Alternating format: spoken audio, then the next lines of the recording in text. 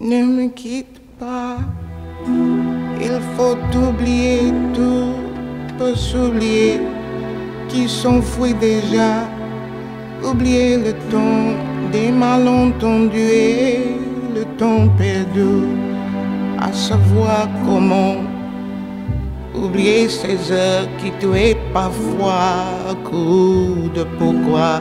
Le cœur du bonheur ne me quitte pas.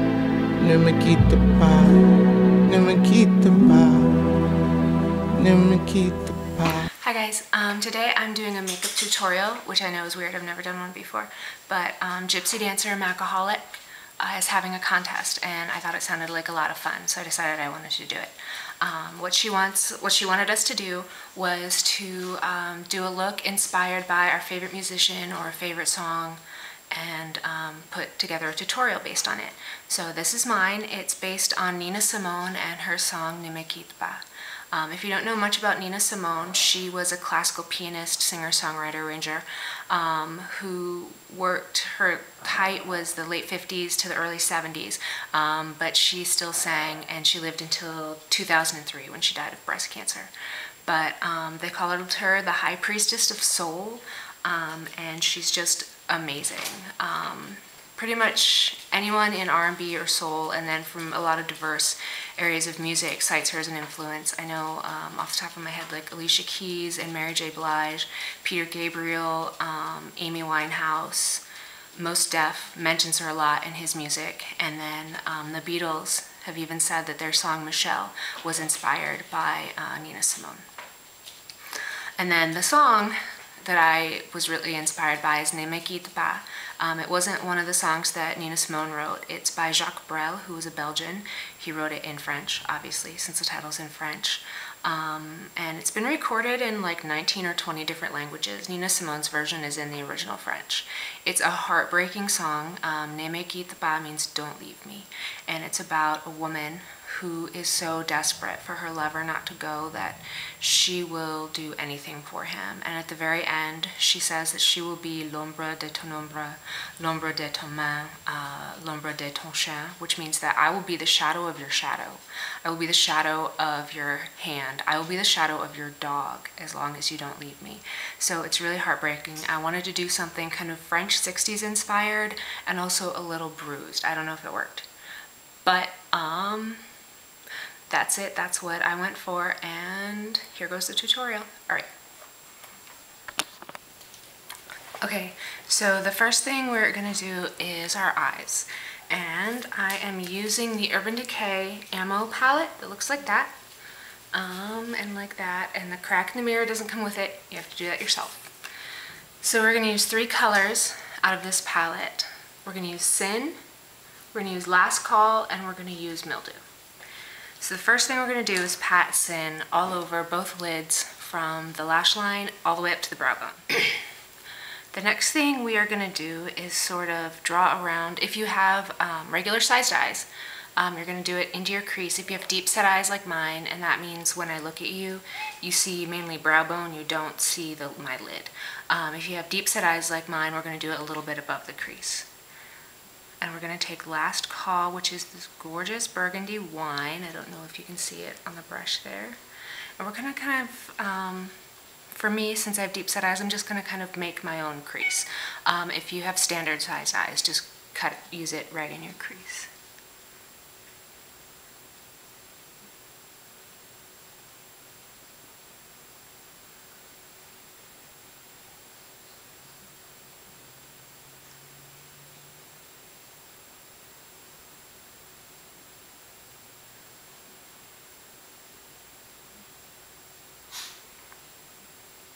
Now that you have that, you're going to pull a little bit of that underneath the eye and kind of make a little place where we're going to put our cat eye later with our eyeliner. Okay, on the outside corner of each lid, we're going to put um, a little bit of mildew.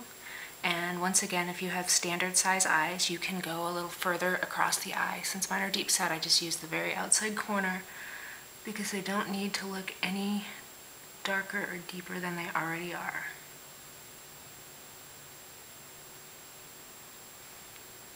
So there we go, and you can see where there has been a little bit of overlap. It's creating that bruise that we're going for. Now I'm going to take a blending brush and blend the last call down and then the mildew up. So we're going to blend the last call down a little bit. Right where it meets the mildew.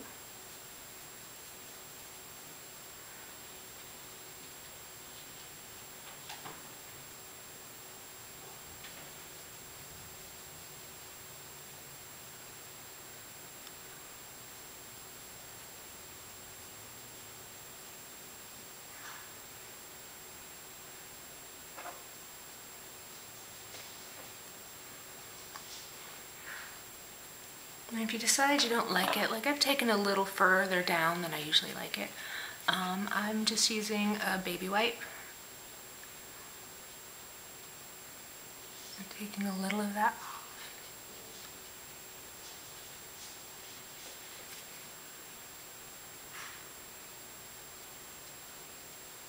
Okay. I'm going to do a little bit more mildew. I want it a little greenier.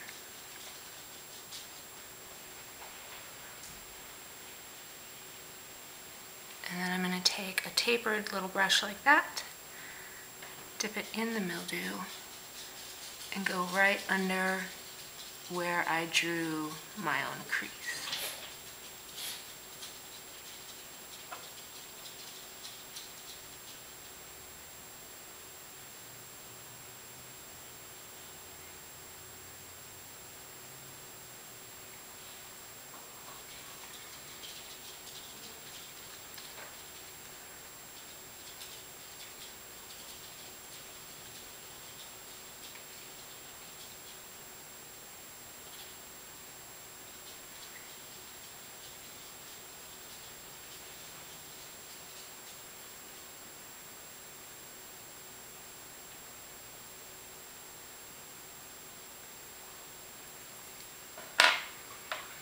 Okay, now that I have my colors like I like them, um, I am going to do my eyebrows. Okay, I have filled in my brows and added some brow highlight, and now I am going to line the inside um, of my eyes with just a white pencil.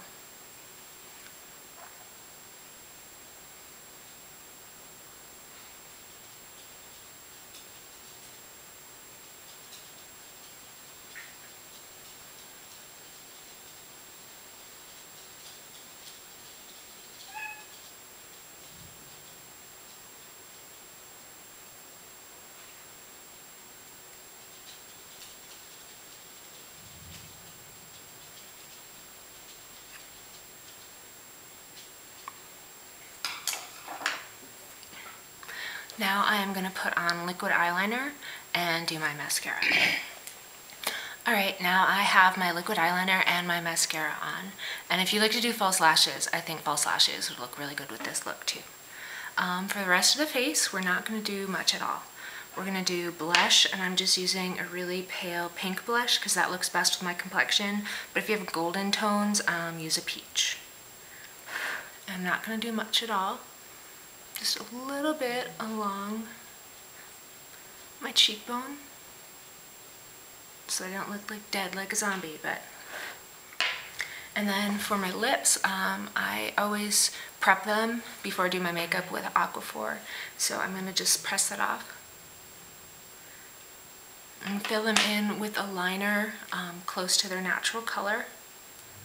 And um, once we have filled in our lips with close to their natural color, we are going to use a shimmery champagne gloss. This is Kitten by Stila, um, but any really kind of pale, peachy champagne paint gloss will work.